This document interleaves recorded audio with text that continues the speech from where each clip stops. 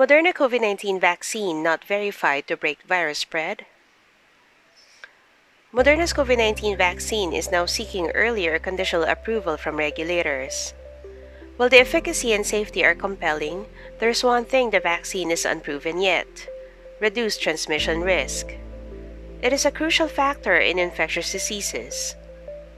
Moderna's chief medical officer, Dr. Tal Zaks, said, I think we need to be careful as we get vaccinated not to overinterpret the results. Dr. Zaks warned people that the vaccine may not immediately return things back to normal, according to the New York Post. The drug may simply make it easier for communities, provided the majority receive the vaccine. The biggest reason for that is the unconfirmed claim of preventing the spread of COVID 19. The vaccine does not give a person 100% protection against the coronavirus. When a person is exposed, they may develop symptoms and become a carrier of the virus.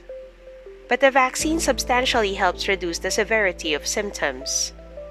As a result, their chance of recovering faster is higher and the risk of complications is low. This is because the vaccine primes the immune system. When vaccinated, the body encounters a part of SARS CoV 2. The immune system studies this part to create antibodies. The person no longer needs to get sick to develop immunity. The vaccine will provide some immunity with minimal risks. In terms of transmission, void persists in the scientific data. The vaccine requires deployment in real world settings to generate relevant data. Dr. Zaks believes that the vaccine may reduce the odds of transmitting COVID 19 to others, theoretically. However, he doesn't want the public to lean on that assumption until established. If people start thinking vaccines will make them immune or non infectious, they may lax on health protocols. Simply put, current vaccines are designed to effectively control the pandemic and bring back the world economy. It may still take some time before better vaccines are available.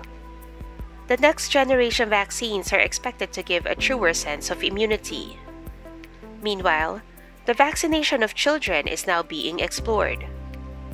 For Moderna, they estimate the availability by mid 2021.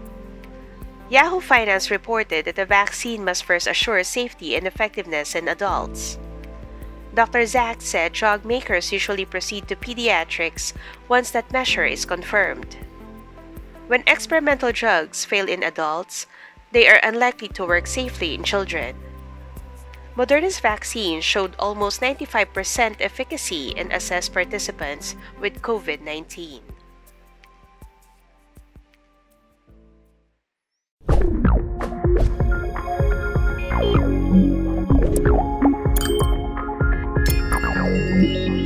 Música